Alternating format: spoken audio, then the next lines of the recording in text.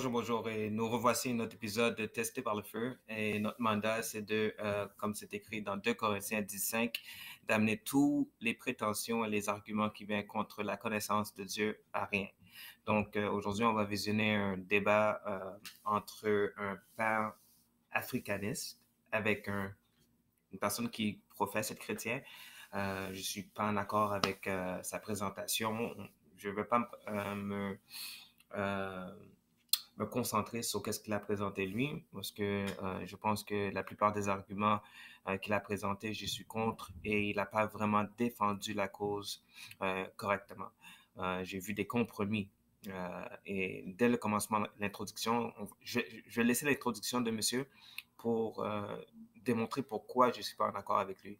Parce que en tant que chrétien, on doit se dissocier, se sanctifier et être mis à part. Il n'y a pas de... on essaie de cause qu'on fait partie de la même euh, race, pas à cause qu'on fait partie de la même race qu'on on doit, on doit compromettre pour euh, s'associer avec euh, d'autres groupes qui ne sont pas assis sur la table.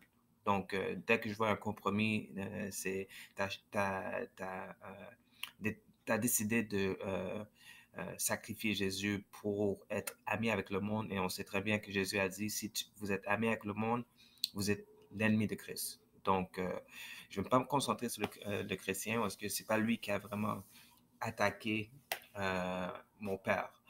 je vais me concentrer sur les arguments de M. César, le pan-africaniste, que j'avais demandé de faire un débat, mais il ne voulait pas. Donc, il n'y a pas de problème. je vais refuter tes arguments et démontrer à quel point que tu n'as rien présenté. Rien du tout qui peut être considéré comme quelque chose de substantiel.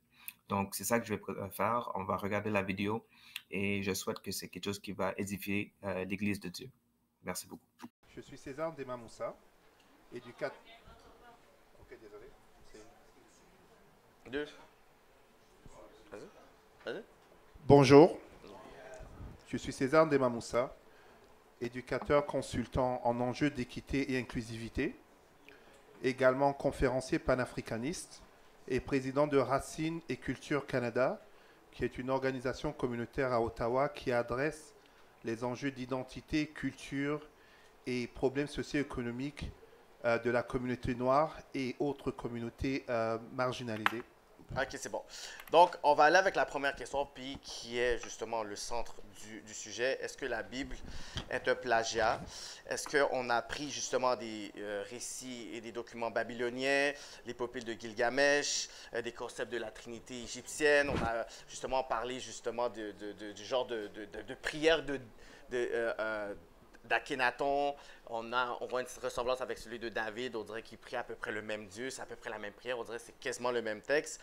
Et on voit que la Bible arrive tardivement, tandis qu'il y a certains textes, certaines légendes, certaines choses qui sont déjà là. Donc, est-ce que toi, tu pourrais dire que, bon, la Bible a été euh, justement fabriquée d'une certaine façon? Toi, c'est quoi ton point de vue? Merci beaucoup. Donc, euh, je souhaite que vous, vous allez vraiment porter attention à ce qu'il nous présente parce qu'il y a déjà des propositions qui ont été présentées par monsieur euh, le modérateur et on dirait que César va élaborer sur ce, euh, ce point-là.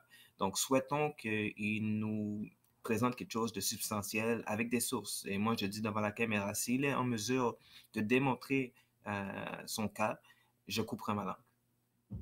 Parce que c'est déjà écrit dans la Bible que le Dieu est unique sanctifié, mis à part. Donc, si mon Dieu, s'il est en mesure de démontrer qu'il y a eu du plagiat euh, de la Bible sur d'autres sources antérieures, supposément, je couperai ma langue. Donc, on va voir qu'est-ce que M. Euh, César va nous présenter. Bien. Déjà, le sujet est très sensible et nous n'avons justement pas le luxe d'être divisés, mhm. tel a si bien été dit. Toutefois, je suis de ceux qui disent, répètent, et vont mourir à le répéter que le savoir domine sur la foi. La raison pour cela est que quand on parle du plagiat de la Bible, imaginez passer toute votre vie basée sur un livre que vous découvrez être faux avec des faits. Ainsi, par rapport à mon intervention ici, je ne demande à personne de me croire. Je ne suis pas croyant, je ne crois pas en Dieu. Vérifiez ce que je vais vous dire. Donc, euh, ça commence bien. Hein. Il dit de vérifier et j'apprécie, je l'aime. Déjà là, je commence à l'aimer. Là. Et c'est exactement ça que j'allais euh, faire. J'allais vérifier toutes les informations que tu nous présentes. Donc, euh, allez-y. Ceux qui sont à l'Internet, vous n'avez pas d'excuses, vous avez l'ordinateur devant vous, vous avez des téléphones intelligents, ceux qui sont ici, vérifiez tout ce que je vais dire. Si j'ai tort, dites-le, prouvez-le-moi et je m'en excuserai. Et pour répondre à ta question, tel je t'avais dit, je vais amener quelques petits cadeaux. Mhm. Des cadeaux. Ouais, mais c'est gentil. Hein. Voilà. L'autre fois, tu nous as amené un, livre de Superman. Aujourd'hui, c'est quoi tu nous as Très intéressant. Hein. Ça nous a amené Spider-Man. déjà, voici le sac qui m'a été donné. Je vais tenir ton micro en attendant, c'est ça? Voici le sac qui m'avait été donné il y a trois ans, quand je fus à la première, la première fois en Égypte, dans les pyramides, par invitation du gouvernement égyptien pour débattre d'égyptologie. Mhm. Et dans ce sac, cette fois-ci, qu'est-ce que je vous amène?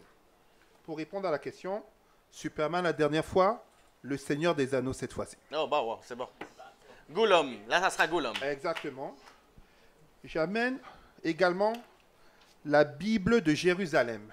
La Bible de Jérusalem. Qu'est-ce que la Bible de Jérusalem? C'est une Bible avec une forte autorité décrétée par le pape et qui est la Bible de référence dans la majorité des pays à dominance catholique. Donc cela n'inclut pas le Canada et les États-Unis où c'est la version King James qui domine. Mais pour vraiment répondre à ta question et dès le départ, j'ai ici ce que l'on appelle vraiment le Pertem Heru, plus connu sous le livre des morts des anciens Égyptiens. Donc, livre des morts. Tu entends des gens dans la foule qui disent Yeah, des livres des morts. Moi, je ne sais pas si, pourquoi vous aimez la mort à ce point-là, là, mais je pense que quand la mort vient, vient frapper à la porte des gens, c'est là que les gens échangent d'attitude. Euh, et déjà là, tu viens juste de présenter la différence entre la Bible et ce, livre-là, le livre des morts, parce que la Bible parle de la vie. Donc, on va voir où est-ce que tu t'en vas avec ça. Alors, amené la totale, toi.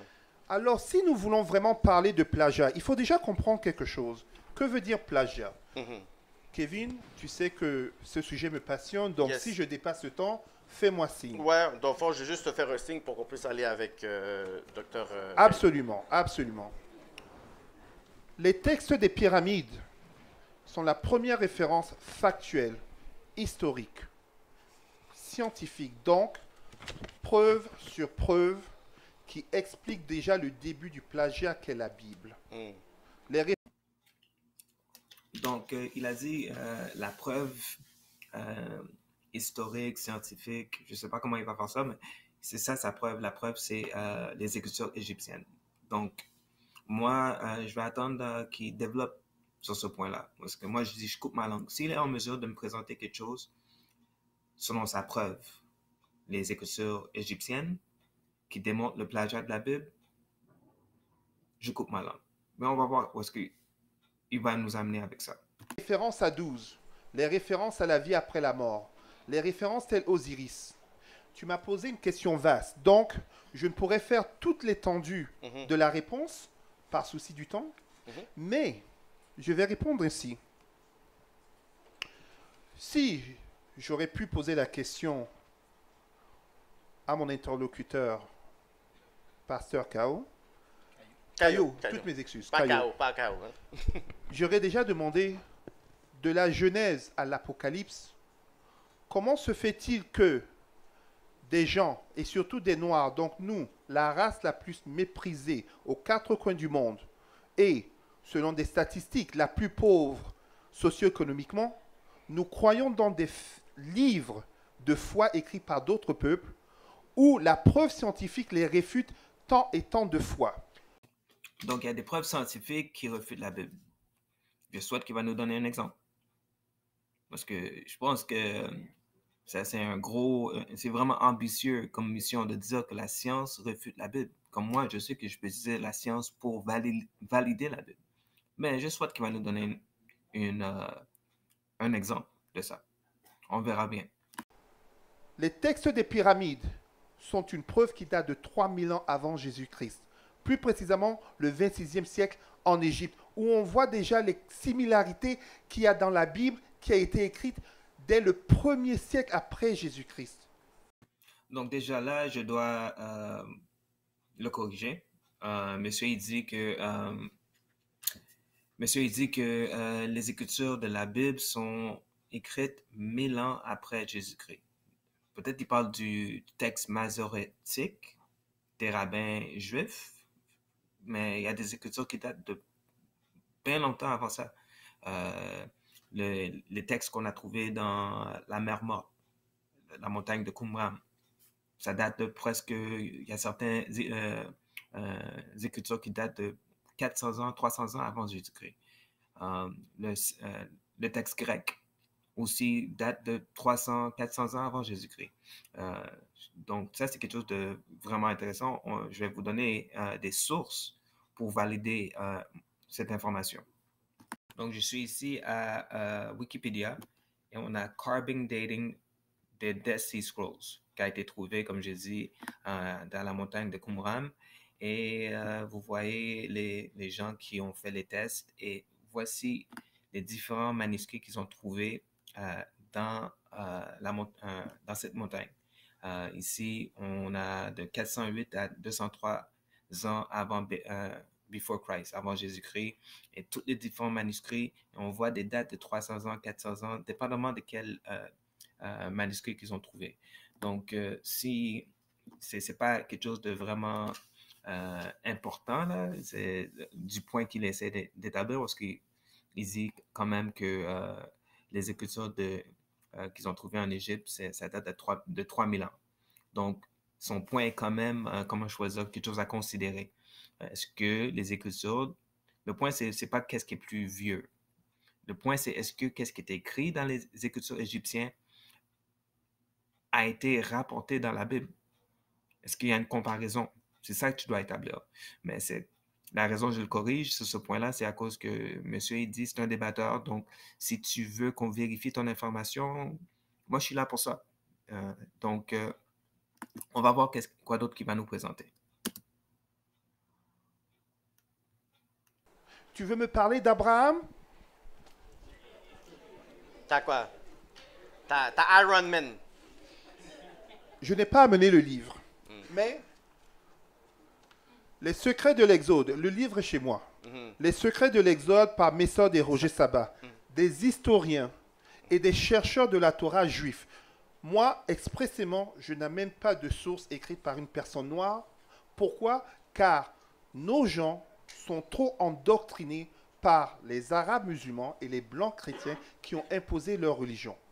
Abraham, la Genèse, selon ces chercheurs, sont des récits qui ont été pris par des esclaves qui ont été rejetés de l'Égypte après la chute, la mort d'Akhenaton, mhm. et le peuple qui le suivait, qui croyait en sa religion de Aton du soleil, qui se sont mélangés avec des peuples cananéens de la région qu'on appelle aujourd'hui le Levant, mm. Israël et le Liban. Donc, euh, monsieur nous présente deux propositions. A, que euh, selon des historiens, euh, Abraham a, pris des informations de l'Égypte. il réfère à Akhenaton, qu'il a été influencé par la religion de. Ça, c'est première chose. Et deuxièmement, que qu'il y avait la vénération du soleil. Donc, il y a deux propositions. A, qu'il a été influencé par la religion d'Akhenaton et B, la vénération du soleil. Moi, premièrement, euh, ne peut pas influencer quelqu'un qui était là avant lui. Moi, je vais donner deux sources, une arabe, arabique, et l'autre euh, juive. C'est eux qui vont savoir c'est quand Abraham est venu dans le monde. Euh, c'est des sources. Ismaël, c'était son fils, et Jacob était son fils. Donc, c'est les gens qui viennent de cette lignée qui vont savoir c'est quand M. Abraham est venu dans le monde. Ça, c'est premièrement. Et deuxièmement, moi, je te donne un challenge de montrer une place dans toute la Bible qui a une influence de vénération du soleil. Ça, c'est quelque chose que, dans les Écritures, que Dieu dit explicitement qu'il haït. C'est la chose qu'il haït le plus. Je vais donner des versets pour ça. Parce que si tu dis qu'Abraham a été influencé dans cette religion de la vénération du soleil, je devais le voir dans la Bible. Moi, je te donne. Donne-moi une citation, s'il vous plaît. Parce que tu n'as rien encore donné là. Il y a beaucoup de euh, euh, euh, présuppositions, mais aucune, aucune façon de valider qu'est-ce que tu dis là. C'est comme si on doit accepter qu'est-ce qui sort de ta bouche. Un historien a dit, c'est pas, pas comme ça on fait un débat. Moi, je suis allé à l'école. Ça, c'est même maternelle. Là. dès secondaire, on t'apprend, tu prends une source, mais tu dois élaborer sur cette source-là tu répètes exactement ce que la personne a dit sans expliquer pourquoi tu crois que ça, c'est quelque chose? On peut dire que ton opinion, c'est biaisé. Moi, je peux trouver des, historiens qui disent le contraire de ce que tu me dis. Mais si je ne développe pas l'idée, c'est juste que je suis en train de jouer l'aveugle. Tu dis aux gens qu'ils euh, ils, ils se sont laissés influencer à cause qu'ils sont simples, si ça. Je viens juste de montrer que toi-même, tu es coupable. Parce que tu présentes un argument sans savoir qu'est-ce c'est quoi les points fondamentaux de cette position? Pourquoi ces, historiens ont dit ça? Basé sur quoi? Ben, si c'est à cause de Akhenaton, ben, c'est une position faible parce qu'Akhenaton est venu après. Je vais montrer des sources. Wikipédia, ça va bien démontrer ça. Deuxièmement, si c'est une question de vénération du soleil, montre-moi une place dans cette Bible que ça parle de vénération du soleil. Moi, je vais montrer que ça parle qu'il a eu ça. Donc, tu peux pas me dire quelqu'un qui a, été influencé dans la vénération du soleil quand ce livre explicitement dit qu'il a eu ça. Ben, je vais vous donner les sources. Pas comme lui, là, je vais donner des sources et je vais développer mon idée. Donc, euh, selon Wikipédia, je suis sur Wikipédia, comme vous pouvez bien le constater, et c'est écrit, euh, c'est en, anglais, mais c'est ici, euh, durant le, règne de Akhenaton de 1353 à 1336 BC. OK? Et on va aller à des sources euh, euh, euh, juives. Ils disent il a été à 1800 avant Jésus-Christ. Donc, on parle de 500 ans qui séparent, 400 à 500 ans qui séparent Abraham de, du pharaon Akhenaton. Et on va, ça, c'est une selon euh, la librairie juive. Et on va aller à une autre source aussi, euh, Wikipédia encore, et selon la tradition islamique, ils disent à 1813. Les deux dates sont à peu près similaires. Deux sources, les deux, euh, deux lignées, les frères, des cousins, disent la même chose. Donc moi, je veux savoir qui on doit accepter on doit accepter qu'est-ce que M. César nous présente comme sans, aucune référence là. Il nous a référé à Akhenaton et selon les sources, Akhenaton est venu 400 ans plus tard. Donc comment quelqu'un qui est venu 400 ans plus tard peut influencer Abraham dans sa religion? Expliquez-moi ça, je ne comprends pas. Et je vais vous donner une citation, une Bible, euh, Ézéchiel 8, verset 15, versets 15 et 16, à cause que monsieur dit la vénération du soleil. Moi, j'attends un verset qui dit que les Israélites vénéraient le soleil. Mais ici, c'est écrit, et il me dit, vois-tu, fils de l'homme, tu verras encore d'autres abominations plus grandes que celle-là. il me conduisit dans le parvis intérieur de la maison de l'Éternel, et voici à l'entrée du temple de l'Éternel, entre la portique et l'autel, il y avait environ 25 hommes tournant le dos au temple de l'Éternel et le visage vers l'Orient, et il se prosternait à l'Orient devant le soleil. Et il me dit, vois-tu, fils de l'homme, est-ce que trop peu pour la maison de Judas de commettre les abominations qu'ils commettent ici? C'est une abomination. Donc moi, je veux savoir, où est-ce que tu as appris ou qui t'a informé que euh, qu'il y avait une influence de vénération de soleil dans les Écritures? Je souhaite que tu vas me donner une source. Et tu ne vas pas me référer à, à, des historiens et dire à cause qu'un livre a dit quelque chose. Non, développe ton idée, s'il vous plaît. Explique pourquoi. On continue à écouter. On parle ici de Noé. D'où est-ce que ça vient? Mhm. Noé vient du fait que le peuple de Juda qui a été déporté à Babylone par Nabuchodonosor se sont inspirés de ce qu'ils ont vu autour d'eux. Mhm. Ils se sont inspirés tout simplement de la mythologie babylonienne qui vient de la religion zoroastrienne, une religion qui existe encore aujourd'hui. Moi, je connais des Babyloniens et je vous assure, ils rient de vous.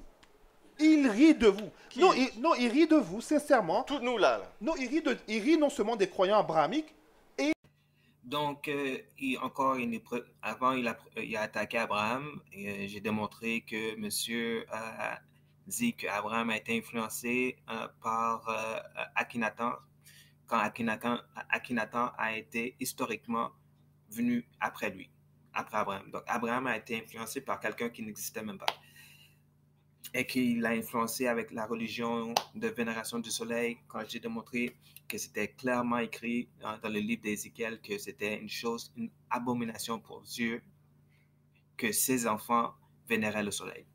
Et j'ai dit que je couperais ma langue s'il trouve un verset dans la Bible qui dit que Dieu dit dans ses commandements, dans sa loi, de vénérer le soleil, qu'il est associé au soleil. Et maintenant, il attaque Noé. Et je veux juste que vous considérez, il dit, Noé a été influencé, l'histoire de Noé a été influencée par les Babyloniens. OK, Noé, Babylonien. Là, est-ce que tu peux faire relier les deux, s'il vous plaît? C'est quoi ta source? C'est quoi le, pont qui associe Noé avec Babylone? Babylone, les Israélites est allé à Babylone dans les années 500 euh, avant Jésus-Christ. L'histoire de Noé, c'est une histoire de 2500 ans. Est-ce que tu peux nous expliquer pourquoi tu crois que Noé a été influencé? Tu vas continuer à parler de Noé. Je n'ai pas mis tous mes arguments dans ce, cette, euh, extrait-là, là, parce que je vais montrer à quel point c'est ridicule qu'est-ce que tu présentes. Totalement ridicule. Et maintenant, tu dis, euh, les Babyloniens rient de nous. Attends, attends, attends. Est-ce que tu me niaises? Pourquoi un Babylonien rit? Premièrement, les Babyloniens n'existent plus. Pourquoi ils n'existent plus? Parce que Dieu a fait une prophétie 2500 euh, ans, euh, euh, il y a 2500 ans. Et cette prophétie peut être testée jusqu'à aujourd'hui. Qui prouve que Jésus est Dieu. qui prouve que Jésus est Dieu, oui. Que le Dieu de la Bible et que la Bible est inspirée. Est-ce que tu connais la, prophétie de Babylone dans Ésaïe 13? Je vais te le lire. Je vais te le lire. OK? Donc, les Babyloniens rient. OK? On va lire une prophétie à propos de Babylone. Euh, c'est Ésaïe 13, verset 19. Et Babylone, l'ornement des royaumes, la fière parure des Chaldéens, sera comme Sodome et Gomorre que Dieu détruisit. Elle ne sera plus jamais habitée. Elle ne sera plus jamais peuplée. L'Arabe n'y dressera point sa tente, et les bergerets n'y parcourront point les troupeaux. Là, ça, c'est quelque chose qu'on peut tester jusqu'à aujourd'hui. Pourquoi est-ce que, si tu me trouves une personne qui habite à Babylone, si tu me trouves une personne qui, euh, euh, euh, des gens qui sont peuplés dans la capitale de Babylone, si tu me montres une, une personne qui a dressé une tente dans Babylone, je coupe ma langue. Parce que ça, ça, fait depuis 2500 ans, depuis Babylone a été conquérue par les, les Perses. Ma question pour, toi, c'est pourquoi est-ce que cet empire qui était la perle des royaumes, l'ornement des royaumes, pourquoi jusqu'à aujourd'hui, elle n'a pas été peuplée? Il y a une personne qui a essayé. Il y a une personne qui a essayé de reconstituer Babylone. C'était Saddam Hussein. Et on sait déjà qu'est-ce qui est arrivé à Saddam On sait qu'est-ce qui arrivé à Saddam Hussein. Donc, quand tu dis les, euh, il y a un Babylonien, il n'y a pas d'empire, il n'y a pas un pays qui, qui s'appelle Babylone, mais tu dis il y a quelqu'un qui s'appelle, euh, qui se proclame babylonien. Ok, parfait. Et il rit de qui? Pourquoi il rirait de moi? C'est son pays qui a été détruit. Imagine-toi une personne qui n'a pas de maison, il, rit de quelqu'un qui, qui a dit qu'il allait détruire sa maison. Est-ce que ça fait du sens? Bon, on va continuer à écouter qu'est-ce qu'il a à dire. Il rit encore plus de moi parce que, mais attendez, les anges et les démons, ça vient de la religion babylonienne. Mm-hmm. Noé et Attendez, l'arbre le plus vieux du monde est en Suède. Hein. Il a 9000 ans. Mhm. La pluie de Noé, Hawaï, il y a quelques années, il a plu plus longtemps que ça. Euh, le grand déluge était où? T'as ton bateau? Moi, j'ai pas de bateau. On est toujours vivant. Mhm. Tous ces textes Donc, moi, je veux savoir qui lui a dit que euh, le déluge, c'est à cause de la pluie. C'est où, où tu as vu ça? Tu l'as vu dans la Bible, ça? Parce que moi, j'ai je sais que c'est écrit dans Genèse 7, c'est l'eau de l'abîme, l'eau des, des profondeurs, euh, avec la pluie. Mais c'est vraiment l'eau des profondeurs qui a, euh, qui a causé le déluge. Donc moi, je veux savoir, est-ce que tu n'étais pas au courant de ça? Et si tu n'étais pas au courant de ça, pourquoi tu débats? Pourquoi tu parles comme si tu sais? Moi, c'est ça mon problème. Des gens qui parlent comme ils savent. L'eau de l'abîme, c'est ça qui a causé le déluge. Et tu dis que l'histoire de Noé a été influencée par Babylone, oui? Ça, c'était dans un autre extrait que tu avais dit. Mais comment est-ce que Noé savait qu'il y avait de l'eau dans les profondeurs? Parce que c'est écrit dans Genèse que Dieu a créé la terre sous les eaux. On dirait qu'il avait une révélation exclusive, divine. Parce que comment est-ce que Noé peut savoir quelque chose euh, qu'il y avait de l'eau dans les profondeurs? Ça, c'est premièrement. Et deuxièmement, pourquoi c'est exclusif? La, euh, juste le fait qu'il savait qu'il y avait de l'eau dans les profondeurs, ça valide l'histoire du déluge. Et c'est, il y a un ce récit à travers toutes les cultures, la différence entre celui de la Bible et ceux des autres nations, ce qui donne aucune explication, ou l'explication fait aucun sens. Mais celle de Noé, lui, donne une preuve, parce que tu as dit, la science refute la Bible. Il n'a pas donné d'exemple, mais il dit ça, ça refute la Bible. Mais ça, c'est une preuve irréfutable que Noé a été inspiré par Dieu parce que lui savait quelque chose que les autres ne savaient pas. Ni les Égyptiens, ni les Babyloniens, tous les, empereurs que tu veux venir là, avec leur Dieu. Pourquoi est-ce que Noé savait qu'il y avait de l'eau dans les profondeurs? Il n'est pas allé nager là, vérifier pour voir s'il y avait de l'eau. Pourquoi ça a pris 4000 ans pour que la science valide, confirme que ce que la Bible a dit il y a 4000 ans? Pourquoi il y avait personne d'autre qui savait ça? Oh, moi je suis pas comme toi, monsieur. Je suis pas comme toi qui juste pas dire des choses sans donner des sources. Parce que moi, je veux pas que le monde dépende sur moi pour que je me, je me fasse valider et me faire penser que je suis important. Je vais donner les sources. C'est dans tous les magazines euh, scientifiques. Je vous donne les sources. Voici les sources. Il y a le Science Magazine, newscience.com, uh, newscience.com, Science Magazine, curiosity.com, Extreme Tech, Et qu'est-ce qu'ils disent? Scientists discover an ocean 400 miles beneath our feet that could fill, that could fill, attends, attends, attends, that could fill what? On va voir qu'est-ce qu'il dit. That could fill. Tu me ou tu me niaises, man?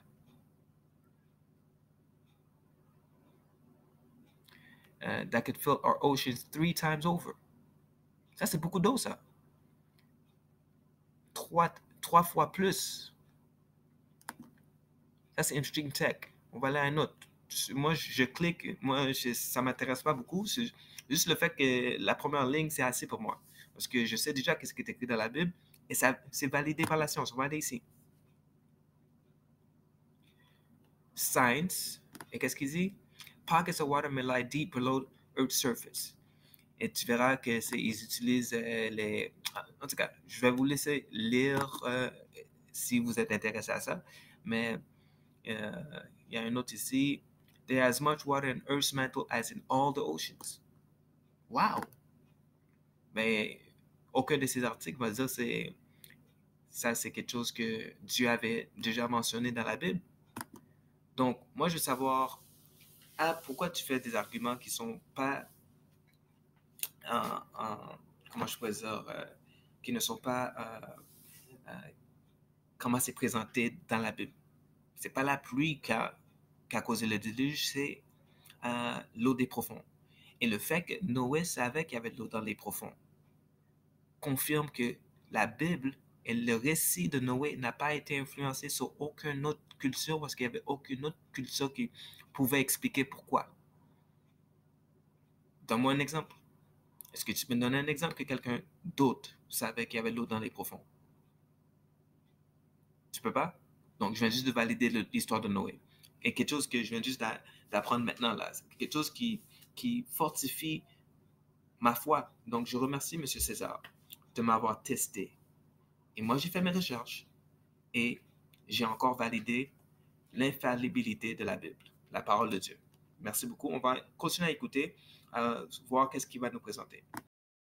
Copié. Je vais donner un très bon exemple parce que il faut comprendre comment la religion et notamment la Bible, parce qu'ici on parle en termes de chrétiens, mhm. mais on aurait pu parler également avec des musulmans. Mhm. La peur et l'ignorance sont des facteurs importants par rapport au contrôle de l'esprit des gens, entre parenthèses, les pauvres et les ignorants, pour les dominer dans leur subconscient. Attends, attends, attends, attends. C'est qui le pauvre et l'ignorant ici? Tu parles de moi là? C'est moi le pauvre? C'est moi l'ignorant? Parce que jusqu'à maintenant, tu as présenté beaucoup de choses, aucune source, aucune explication, aucun développement et beaucoup de faussetés qui sont des choses qu'on peut valider, confirmer facilement. Est-ce que le déluge, c'est à cause de la, pluie? Est-ce que tu vas répéter ça? Genèse 7, 11, c'était clairement expliqué et à travers tous les écritures, même dans les sommes. Donc, quand tu dis les ignorants, de qui tu parles? Tu parles pas de toi. Non, c'est les autres qui sont ignorants. Écoutez-moi, je suis une personne, regardez-moi, je suis important. tu es important dans ta tête, oui. Tu es, vraiment important dans ta tête. Moi, je sais que je suis rien. Je suis un ver de terre, moi. Je sais ça. Avec lui, je suis un homme de sagesse. Parce que, expliquez-vous, toi, tu es un homme important dans une haute position. Moi, je suis un homme pauvre, oui, mais riche en, sagesse. Explique-moi comment une personne qui prenait de la drogue, une personne qui était tellement perdue, une personne qui... J'étais perdu. Comment ça, je peux te débattre et mettre ma langue en jeu et il n'y a personne d'entre vous qui a été capable de faire rien, de présenter rien de substantiel jusqu'à maintenant? Peut-être il y a quelqu'un quelque part. Oui, oui, j'attends ce jour-là. Mais jusqu'à maintenant, vous n'avez rien présenté là. Donc je comprends pourquoi tu avais peur de me débattre. Parce que c'est facile de faire ça avec un supposé chrétien. Oui, euh, le pasteur, regardez la vidéo du coffin, euh, c'est le quelque chose. Regardez, monsieur, il va dire, oh oui, Noé, c'est pas une vraie histoire. Moi, je veux juste te prouver Noé. Parce que Noé savait quelque chose que personne d'autre savait. Donc, explique-moi comment il l'a fait. Lui, il dit, c'est divinement inspiré. Tu veux pas accepter? Explique-moi comment lui savait. Quelque chose que ça a pris 4000 ans pour la science, que tu disais que la science réfute. Et j'aime ça quand ils disent la science, comme s'il y a quelqu'un qui s'appelle la science t'appelles la science. Laisse-moi appeler la science. Hé, la science, qu'est-ce qui se passe? Non, c'est pas comme ça, ça marche. Développe l'idée. Explique-moi l'expérimentation qui t'a amené à ça. C'est quoi les recherches? C'est quoi l'étude? Réfère-moi à l'étude. L'université, quoi? Qu'est-ce qu'ils ont dit? Et même si tu es capable de me refaire une étude, je veux que tu m'expliques c'est quoi l'étude, c'est quoi les points focaux, c'est quoi qu'ils ont amené. Est-ce que tu niaises? Et tu as l'audace d'appeler des autres des ignorants pour te faire placer comme si venez vers moi. Moi, je dis à personne de venir voir moi. Allez vers Jésus.